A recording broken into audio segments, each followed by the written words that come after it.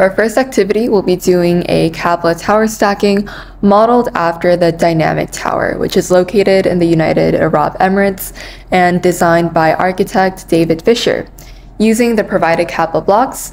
And if you happen to not have any Kapla blocks at home, any wooden block, such as the ones found in Jenga, will do fine.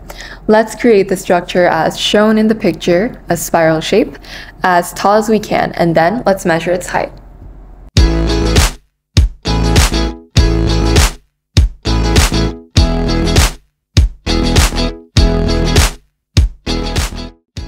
Now I'll be using our Kapla blocks to build the dynamic tower. In order to build the dynamic tower without the Kapla blocks falling over, you first have to ensure that there is a balance of forces. Now let's say we have two blocks. I'm going to place a second block over the first block like this. You have to ensure that these areas that don't overlap, this one here, and same on the other side, this area here, has the same surface area. This ensures that the center of gravity is maintained and a balance of forces is achieved. So we're going to begin building our dynamic tower in this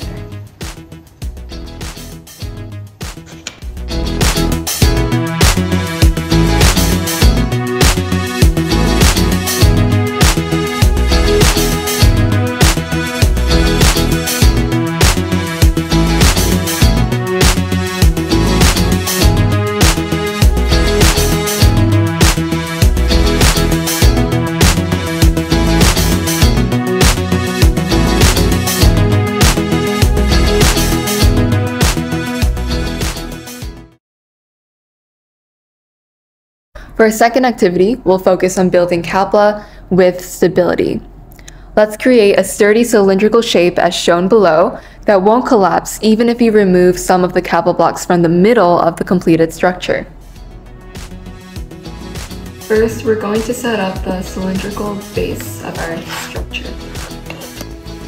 Since we're using blocks, it'll actually be a hexagon instead of a circle.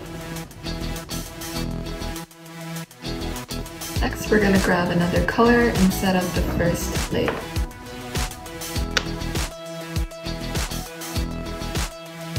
Another color to set up the second layer. Again, we'll be setting these up diagonally compared to the previous layer.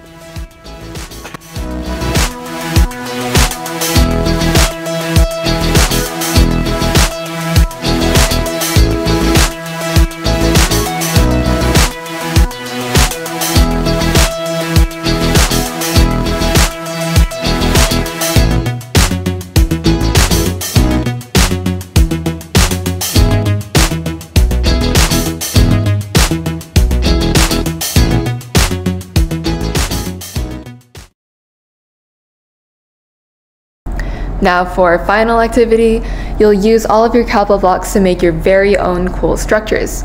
Make your own masterpiece. And in the Kapla homework sheet, you'll take a picture of that, paste the picture in your sheet, and also write down the height, measured using a ruler.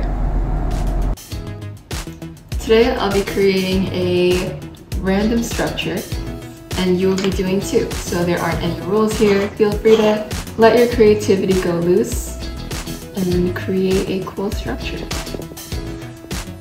So I'll be basing mine off the cylindrical structure that we just made, except I'll be changing the shape a little. As you can see, I've chosen to create a X shape as a foundation, and I'll be building a border around the shape.